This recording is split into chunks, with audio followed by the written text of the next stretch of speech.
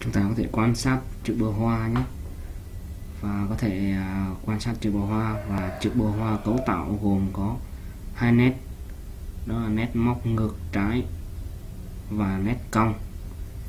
Đầu tiên là nét một, là gần giống nét móc ngược trái. Được chưa? Nét một là gần giống nét móc ngược trái nhé.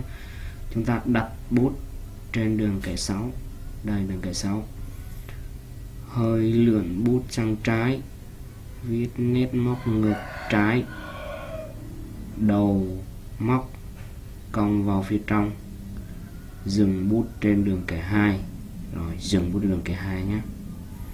Nét thứ hai, nét cong trên và cong phải.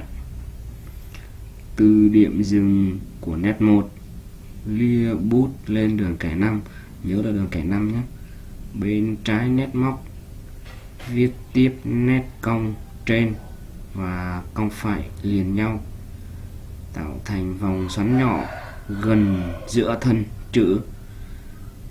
Dưới đường kẻ 4 và dừng bút ở khoảng giữa đường kẻ 2 và đường kẻ 3 dừng bút ở đường giữa đường kẻ 2 và đường kẻ 3 nhé. Chú ý nét cong cần chú ý là nét cong cần lựa đều và cân đối nửa cong dưới và vòng sang bên phải hơi rộng hơn nửa cong trên. Chúng ta có thể quan quan sát lại video và tiếp theo nhé. Chú ý xem video và tiếp theo nhé các em. Bạn nào cần các video của các các, các ừ, chữ hoa này thì có thể để lại comment mình sẽ gửi cho từng chữ từng chữ để thuận tiện trong công tác giảng dạy nhé cảm ơn các bạn và các em rất nhiều đã xem video về hướng dẫn viết chữ bờ hoa này. Hãy thấy các bạn thấy hay hãy like và chia sẻ ủng hộ ông giáo nha. Cảm ơn các bạn rất nhiều.